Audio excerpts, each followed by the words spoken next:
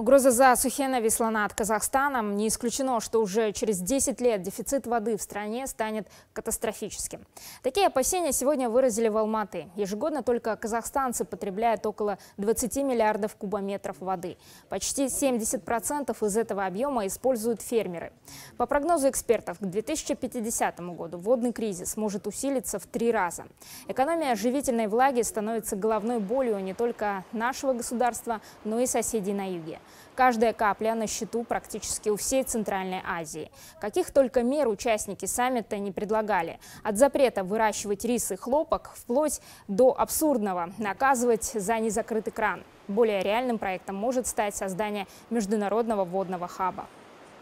Нужно как постараться выдержать э, хотя бы тот размер стока воды, который сейчас есть, э, и не уменьшать его постараться выстраивать планы развития промышленности, производительности. Казахстан не может эти вопросы решить самостоятельно. Поэтому одно из главных решений, а, которое мы предлагаем, это возможность создать институциональную базу на уровне а, межгосударственном.